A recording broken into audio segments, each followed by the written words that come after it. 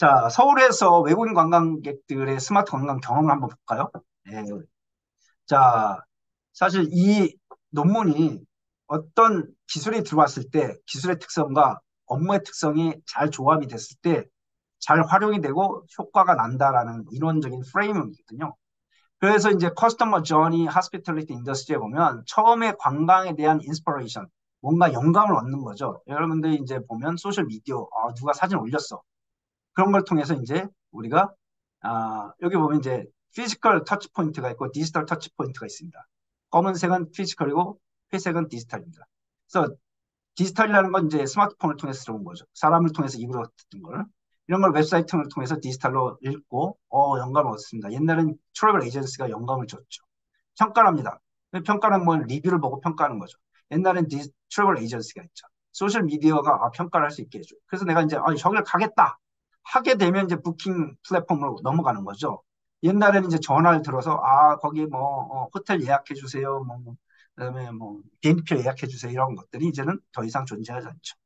그 다음에 이제 가기 전에 이메일로 이제 pre-sales를 할 수 있게 해주고 자 그래서 personal letter 같은 걸 해준단 말이죠. 그래서 이제 여행을 떠나는데 이제부터는 떠나서 사실은 어, Google Map을 통해서 우리가 이제 호텔을 찾아왔습니다.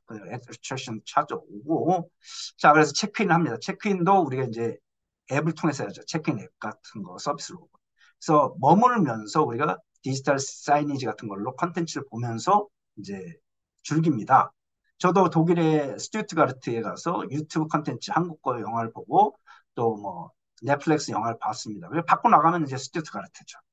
그래서 소셜 미디어에 또 올리고 그래서 또 체크아웃 할 때 또 디지털로 쓰고 온라인 리뷰 남기고 그다음 집으로 가면서 map 사용하고 소셜 미디어에 뭐 자기 자랑도 하고 또 갔다 오고 나서 사실 그거에 대한 걸 또 소셜 미디어에 남기고 그 다음에 이제 갔다 온 loyalty program으로 이제 계속해서 engagement 시키는 거죠.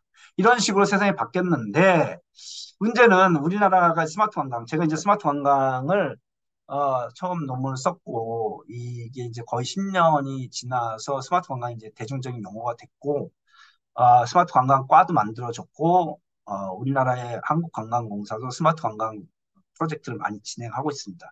지자체들도 많이 하고 있어요. 그럼에도 불구하고 문제는 이제 오기 전에 도, 이 독일의 제 동료가 쓴 내용을 제가 갖다 놓은 겁니다.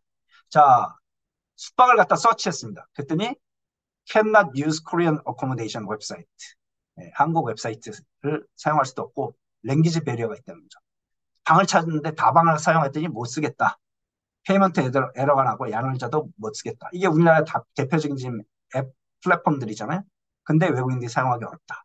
information search도 결국은 매우 비효율적으로 만들어져 있고 K-팝 티켓도 구매할 수가 없었고 어디서 해야 될지 모르겠다.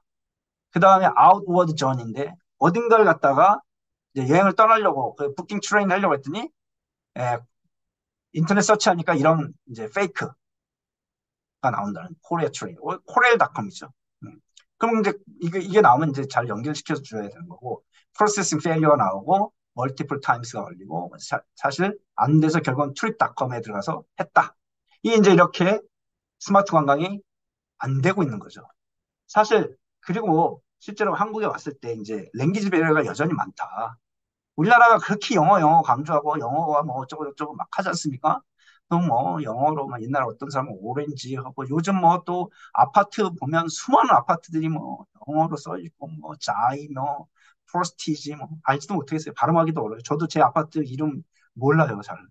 옛날에 뭐 살던 아파트 얼마나 좋습니까? 진달래 아파트, 개나리 아파트. 이런 건 촌스럽다고 하는 거죠. 근데 실제로 비즈니스를 보면 traveler가 정보를 찾기 어렵다 이거예요. 영어가 제대로 안 돼서. 우리나라 traveler 앱이 제대로 안 된다는 거예요. 네이버를 통해서. 이게 안 되는 거죠. 자, 돈 지불하는 것도 여전히 문제가 있는데 싱가폴 같은 경우는 바로바로 바로 티켓 구매하는데 왜 우리나라는 안 되냐 이거죠. 그래서 우리나라의 credit card 사용할 수가 없다. 이게 큰 문제고. delivery 앱도 사실 배달의 민족 앱을 써보니까 쿠팡이나 delivery 앱이 안 된다 그러고 language barrier가 있다는 거 이게 말이 되는 거예요 지금. 네.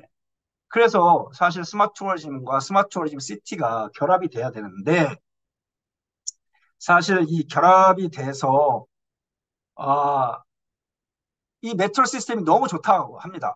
그렇지만 이렇게 메트로 시스템이 어떤 관광지나 이벤트를 갖다 잘 프로모션 시켜줘야 되고 그리고 나서 이제 북한 mountain도 가야 되는데 아 사실은 이게 잘 안 되나 봐요. 그래서 제 논문을 인용했더라고요. 이게 아직 separation 돼 있다. 예, 그래서 거주민하고 관광객들이 사실 공유해서 사용할 수 있어야 되는데 잘 안 되고 있다. 이 제가 그 논문을 비판했거든요. 그 다음에 이제 소셜 미디어 활동이 오프라인 advertisement를 잘 해줘야 된다. 그래서 소셜 미디어의 컨텐츠와 사실은 아, 그런 것들이 결국은 아, 잘 정보들이 이제 소셜 미디어 컨텐츠 통해서 전달이 돼야 된다는 거죠. 여기서 또 Korea language 미디어, 아, Korean language만 된다 이런 거죠. 그 다음에 챗봇 서비스가 잘 안 된다고 하나 봐요. 네, 챗봇 서비스가 우리가 지금 챗 GPT가 있는데도 아직 사용을 잘 못하는 거죠. 이런 부분들. 네, 멀티플 어, 랭귀지 앱이 있어야 되는데 잘 안 된다. 앞으로는 챗 GPT가 이제 그 같은 것들을 해줄 것 같고요.